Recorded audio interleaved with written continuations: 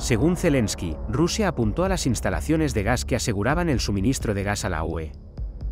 Volodymyr Zelensky afirmó que un ataque ruso al sector energético de su país tuvo como objetivo instalaciones de gas que eran de importancia crítica para el suministro de gas a la Unión Europea. El ataque consistió en 34 misiles de diversos tipos.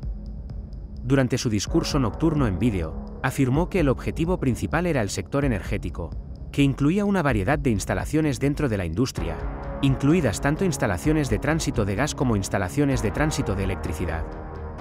Especialmente aquellas instalaciones gasistas que son absolutamente necesarias para garantizar el suministro de gas a la Unión Europea de forma segura. Además, afirmó que la trayectoria y la naturaleza del ataque habían sido cuidadosamente planificadas para que fuera lo más difícil posible evitar que ocurriera. Cada cohete que pueda ser derribado hoy es un resultado significativo, afirmó. El jefe del gobierno ucraniano exigió a los aliados de Kiev que tomaran medidas decisivas, aumentaran la cantidad de suministros de defensa aérea y aceleraran los plazos de entrega. Las regiones central y occidental de Ucrania son bombardeadas constantemente por misiles rusos. Ayer se informó que las fuerzas rusas bombardearon y atacaron centrales eléctricas ucranianas ubicadas en las regiones central y occidental de la nación que actualmente vive una guerra. El enemigo volvió a bombardear masivamente las instalaciones energéticas ucranianas, afirmó TEC, la mayor empresa privada de electricidad de Ucrania. La empresa también mencionó que cuatro de sus seis centrales térmicas sufrieron daños durante la noche. Para llevar a cabo la operación de ataque aéreo se utilizaron misiles de largo alcance, incluidos misiles de crucero.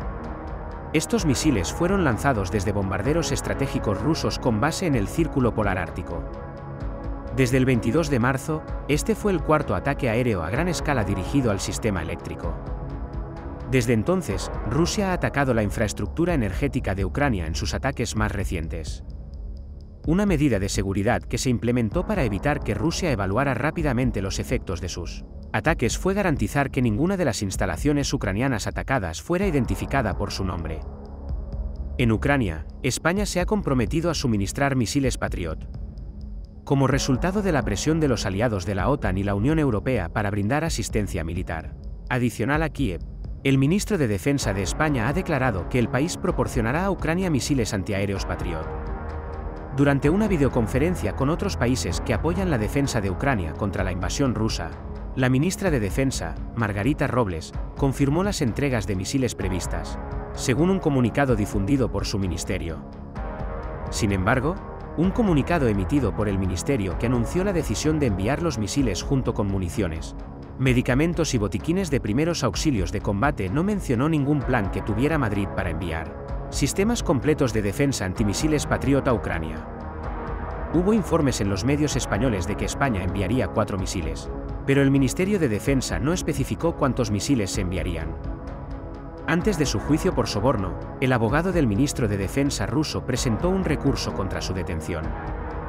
Según un informe de la agencia de noticias estatal rusa TASS, los abogados que representan a Timur Ivanov, viceministro de Defensa de Rusia, han presentado un recurso de apelación contra una decisión judicial que le ordena permanecer en prisión preventiva durante su juicio.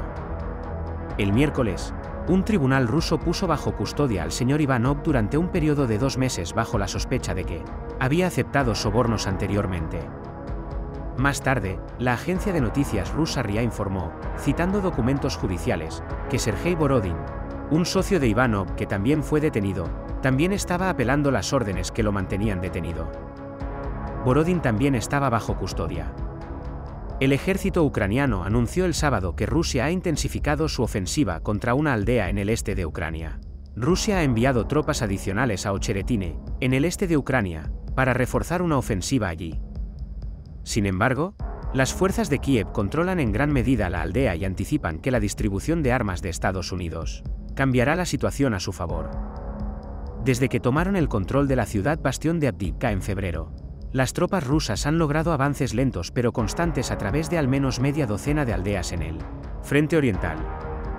Esto ha ocurrido mientras las exhaustas fuerzas ucranianas han estado racionando sus menguantes suministros de artillería, el sábado estallaron feroces combates en Ocheretine, sin embargo, según Nazar Volosin, portavoz del Comando Oriental, las fuerzas ucranianas tenían la situación bajo control y controlaban dos tercios de la aldea. Según él, las tropas ucranianas pudieron bombardear la parte de la aldea que fue tomada por las fuerzas rusas. También afirmó que el enemigo está bloqueado y se están tomando medidas para expulsarlo lo antes posible. A pesar de que aún no habían entrado en la ciudad, afirmó que las fuerzas rusas estaban haciendo todos los esfuerzos posibles para apoderarse de la estratégica ciudad de Chasiv Yar, que estaba situada al norte en el frente oriental. La ciudad de Chasiv Yar, situada en un terreno elevado, se considera una puerta de entrada a las restantes ciudades importantes del Donbass que están bajo control ucraniano. Rusia está en proceso de capturar estas ciudades en su totalidad luego de su invasión a gran escala en febrero de 2022. A pesar de que están superadas en armas y número, las tropas ucranianas recibieron un importante impulso en su moral cuando Estados Unidos finalmente dio su aprobación. Un importante paquete de ayuda esta semana que incluye contribuciones para asistencia militar. Voloshin afirmó que Ucrania esperaba recibir asistencia militar de otros países, que incluiría armas, municiones y proyectiles, para ayudar a revertir la situación en los frentes de Bakhmut y Abdivka, así como en otras regiones. Un grupo de expertos ruso advierte sobre el estancamiento de la producción industrial. Según un informe publicado por un grupo de expertos cercano al gobierno, la producción industrial y las inversiones de Rusia se mantienen al mismo nivel. Las exportaciones de bienes del país continúan su tendencia a la baja y la rentabilidad en la mayoría de las industrias está disminuyendo. El sábado, el Centro de Análisis Macroeconómico y Previsión de Corto Plazo, CMAF, publicó su evaluación pesimista, que también incluía una advertencia sobre la escasez de componentes y materias primas importadas. A pesar de que Rusia todavía está involucrada en una guerra en Ucrania, el desempeño económico del país durante el año anterior fue mejor de lo que habían anticipado funcionarios y analistas. Sin embargo, en su análisis mensual de tendencias macroeconómicas del mes de abril, el centro afirmó que observó indicios de una caída en una serie de indicadores a finales de 2023 y principios de 2024. A pesar de que los desafíos a largo plazo la economía requiere soluciones aquí y ahora, según el informe, las tendencias emergentes son motivo de preocupación. El informe señala que en la mayoría de los principales tipos de actividad, la transición al estancamiento ya se ha producido o es cada vez más visible. También mencionó que las altas tasas de interés estaban comenzando a desacelerar el crecimiento de la demanda de los consumidores, que se considera un motor clave del crecimiento económico. Como resultado de las sanciones impuestas por Occidente en respuesta al conflicto en Ucrania, la economía rusa está experimentando una serie de desafíos. Estos desafíos incluyen problemas con los pagos y restricciones a las importaciones. Según el informe, esto se debe a que algunas empresas dependen en gran medida del suministro de componentes y materias primas. Además, las sanciones impuestas a los hidrocarburos y la falta de personal disponible han hecho imposible que Rusia siga, dependiendo de los ingresos energéticos y de la mano de obra barata para su crecimiento económico, según el informe. En caso de que se lo haya perdido, mientras Kiev está trabajando para deshacer los recientes avances rusos, el último sospechoso de corrupción es el ministro de Agricultura de Ucrania.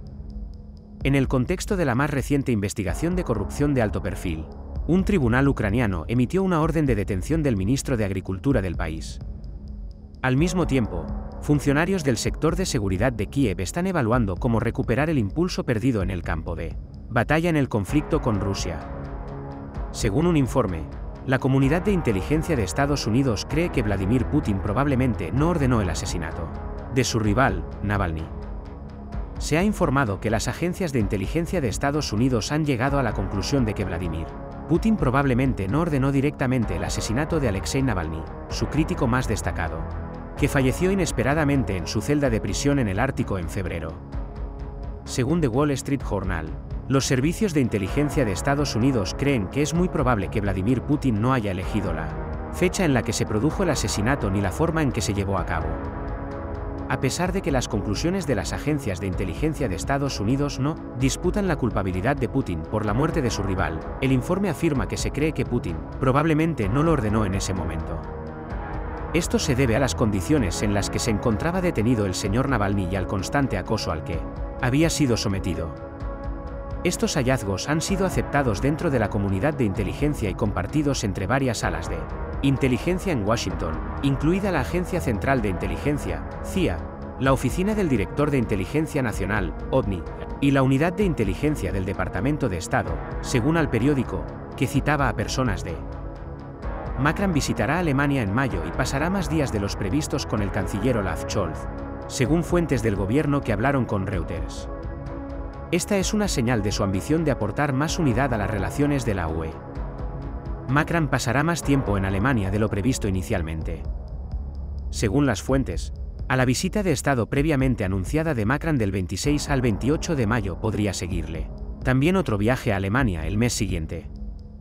Esto podría interpretarse como una posible indicación de que las relaciones franco-alemanas siguen siendo sólidas, a pesar de los informes de profundos desacuerdos entre las dos figuras dirigentes.